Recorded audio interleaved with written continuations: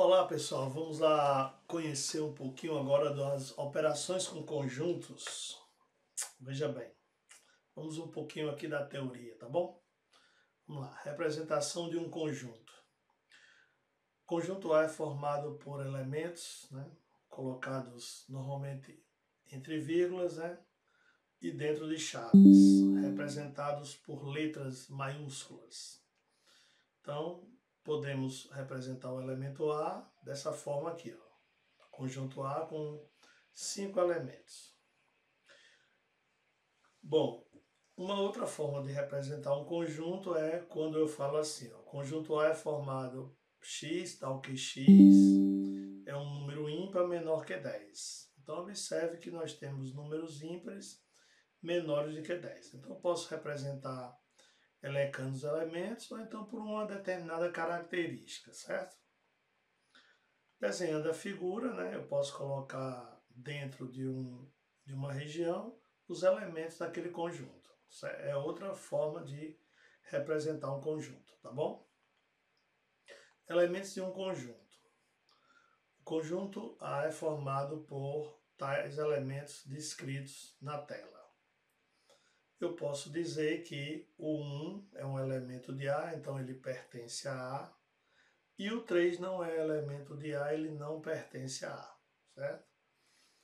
O 1 pertence a A e o 3 não pertence a ela. Observe que para pertencer, né, tem que estar presente no conjunto. E todo número que você tem assim sozinho, né, ele é um elemento ou não. Né? Se ele for elemento, ele pertence se ele não for elemento, ele não pertence, beleza? Vamos lá. Conjunto unitário. Conjunto unitário é um conjunto formado por um único elemento. Exemplo. x, tal que x é um número natural primo e par. Pessoal, número primo e par só existe o 2. O que é o número primo? É aquele que é divisível por 1 um e por ele mesmo. Então, número primo e par, apenas o 2. Logo, esse conjunto aqui é um conjunto unitário. Conjunto vazio, ele é representado por essa notação, ó. pode ser representado por uma chave né, sem nenhum elemento dentro. É um conjunto que não tem elementos. Exemplo, x tal que x é um número primo par maior que 5. Você viu que primo e par só tem o 2, né? Mas o 2 não é o maior que 5. Então, não tem elementos. Né? Primo par, existe o 2. Mas esse número não é maior que 5. Então, esse conjunto não tem elementos. Então, é a representação de um conjunto vazio que pode ser com esse símbolo aí, indicando que não tem elementos, tá bom? Subconjuntos de um conjunto. Dizemos que é um subconjunto se todos os elementos de A pertencerem a B. Por exemplo, os elementos de A é 1, 2, 3, 4. Todos pertencem a B. Então, o conjunto A é um subconjunto de B. Podemos dizer que o A está contido em B ou B contém o A. Observe que essa abertura, né, ela fica sempre para o lado do maior, quando um for maior que o outro, né? Então, se todos os elementos de A estão em B, então o A é um subconjunto de B. Logo, eu posso dizer que o A está contido em B. E aqui é o desenho. O A está dentro de B, tá vendo? E o B, por sua vez, ele contém o conjunto A. O conjunto vazio ele está contido em qualquer conjunto. Por definição, pessoal, o conjunto vazio que não tem elementos, ele está contido em qualquer conjunto. Todo conjunto está contido nele mesmo. Então, veja essa afirmação. Se o A está dentro de B e o B está dentro de A, como é que pode? O A está dentro de B e o B está dentro de A. Só se eles forem iguais, né? Assim, o conjunto A é igual a B. O A está dentro de B e o B está dentro de A. Por exemplo, naquele exemplo anterior, o A está dentro de B, mas o B não está dentro de A. Então eles não são iguais. Mas se o A estiver dentro de B e o B estiver dentro de A, aí eles são conjuntos, o A igual ao B. Operações com conjuntos, que é a parte principal.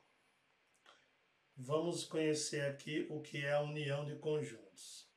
Então, tenho dois conjuntos, está aqui o A e está aqui o B. A união é tudo, né? Então, o que é a união? Todo mundo que está em A com todo mundo que está em B. O 2, ele só conta uma vez, ó. 0, 2, 3, 4, 5, 6, 7. Se você olhar, 0, 2, 4, 5, 6, 7. E o 3 aí que eu pulei, né? Certo? Então, o conjunto A união B lê-se assim, né?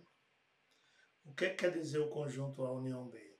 Dados dois conjuntos A e B, a união de A e B é o conjunto A pertence a A ou B. Então, X pertence a A ou X pertence a B. Esse ou aqui é o ou da disjunção, né? que em conjunto ele é a, a união. Interseção entre dois conjuntos. X é um número natural menor que 8, x é um número natural par menor que 10. Então, o A são todos os números menores do que 8, naturais, que vai de zero em diante. E o conjunto B são os números pares menores do que 10. Lembrando que o zero é par. A interseção é a região comum, em destaque, tá vendo? Certo? É a região comum. Então, a interseção é 0, 2, 4, 6. A região achurada é a região de interseção. O que, que a gente fala da interseção? Que, dados os dois conjuntos A e B, a interseção quer dizer que o A tem que pertencer, o elemento tem que pertencer a A e também a B. Ó. Interseção é tal que X pertence a A e X pertence a B. Tem que pertencer aos dois, certo? Para estar na interseção, tá bom? Agora vamos ver o conjunto de diferença, a última operação. x é um número natural que está entre 20 e 30. x é um número primo menor que 30. Então, o A está entre 20 e 30. Então, vai do 21, 22, 23, até o 29. E o B é número primo menor que 30. Pessoal, o primo é aquele número que é divisível por 1 e por ele mesmo. O único par primo é o 2. Mas tem vários ímpares, como o 3, o 5, o 7, o 11, o 13, 17, 19, 23, 29. Então, observe que desses primos aqui, ó, que são menores do que 30, só existe dois deles que estão entre 20 e 30, que é o 23 e o 29. Certo? O restante não está, tá vendo? Do conjunto A. Então a diferença entre o A e o B é o que está em A, mas não está em B. Então o que é a diferença? Essa região aqui, ó, está em A, mas não está em B. Então vai 21, 22, 24, 26, 25, 26, 27, 28, certo? Isso é o conjunto diferença. Se fosse B menos A, seria essa outra região aqui. E essa região do meio é a interseção, certo? Então, o conjunto diferença, ele pertence a A e não pertence a B. Um detalhe bem importante é que o conjunto diferença, ele sai do primeiro. Ele sai do primeiro, mas não está no segundo. Veja aqui, ó, ele sai do primeiro, só que ele não está no segundo, essa região aqui, ó. Certo?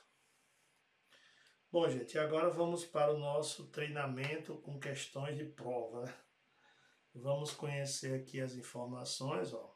Ele dá o conjunto C, conjunto D e pede uma série de informações. Quantos elementos tem a união, quantos elementos tem C menos D, certo? Então, eu acho que uma boa jogada para isso é você fazer um diagrama. Bem legal, ó. Eu vou fazer por diagrama aqui para você entender. Ó. Vou botar aqui o conjunto C, certo? O conjunto D, conjunto C, conjunto D. A primeira coisa que eu vou observar é se tem interseção, elementos comuns. Vamos lá, ó. Eu já estou vendo aqui que o 1 é comum, certo? Então, 1 fica na interseção, 1 é comum. Eu estou observando que o 4 é comum, então o 4 fica na interseção. E o outro comum é o 7. Então, entre os dois eu coloco a interseção, certo?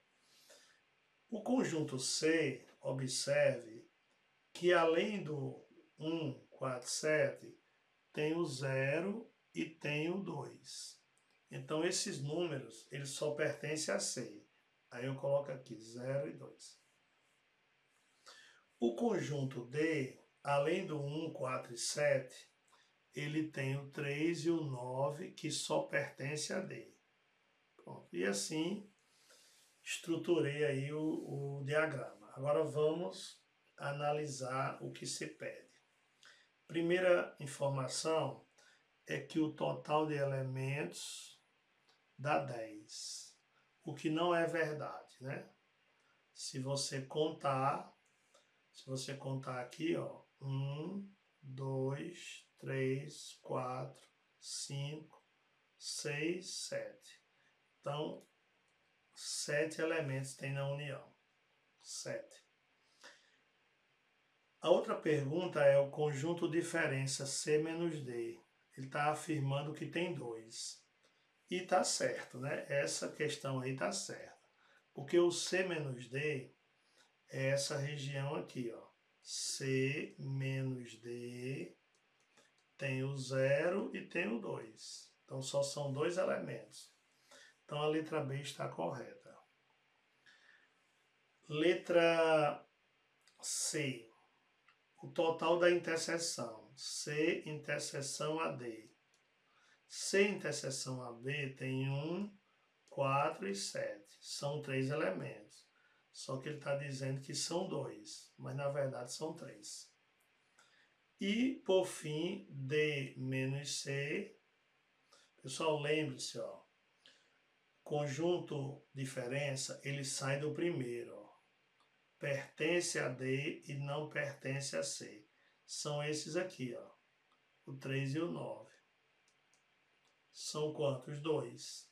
Só que ele botou que são três. Então, realmente, só tem uma questão correta, né? Questão número 1, um, certo? Letra B de bola. Vamos para a próxima questão. Bom, mais uma vez nós temos um problema onde temos o, dois conjuntos né, indicados por elementos, separados por vírgula, colocado entre chaves. Né? E a pergunta aqui é, dessa vez, ele envolve as três operações básicas. Então ele começa assim, B menos A, interseção AC união B. Então ele quer saber quais são os elementos desse conjunto. Então B menos A, lembre-se que B menos A pertence a B, mas não está em A. Então se você observar ó, desse conjunto B, quem é que não está em A? Aí você diz, professor, o 1 o 1 ele está em B, mas ele está em A. Os demais não, menos 3 e 3. Então você vai colocar aqui, ó, menos 3 e 3. Interseção com a união. Você sabe que união é tudo, né? União é tudo. Então você vai pegar tudo de A com tudo de C. Aliás, tudo de C com tudo de B. Então você vai pegar o conjunto B e o conjunto C. Em ordem crescente eu tenho menos 5, né? Depois eu tenho menos 3. O menos 2 não aparece. Aí eu tenho menos 1. O zero não aparece. Tenho 1. Tenho 2. Tenho 3. e um 5. Certo?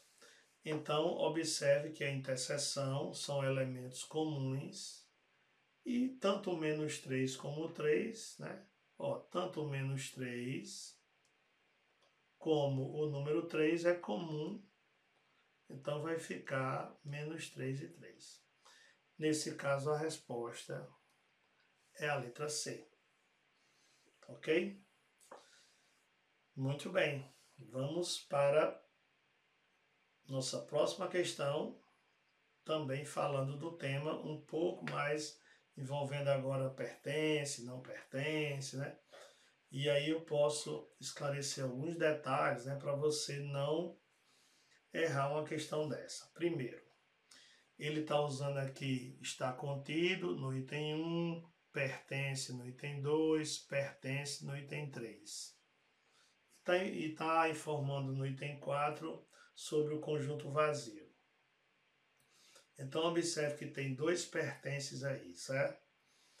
Bom, gente, vamos lá. Para você não errar, toda vez que aparecer pertence, basta você fazer assim. Por exemplo, se aparecer pertence no A, é só você pegar os elementos, separar ó, e dizer que cada um deles pertence a A. O zero pertence a A, o 1 pertence a A, o 2 entre chaves pertence a A e o 3 pertence a A. Então, se for pertence em relação a A, só pode ser um desses quatro aí. O que é pertencer é o elemento estar presente no conjunto.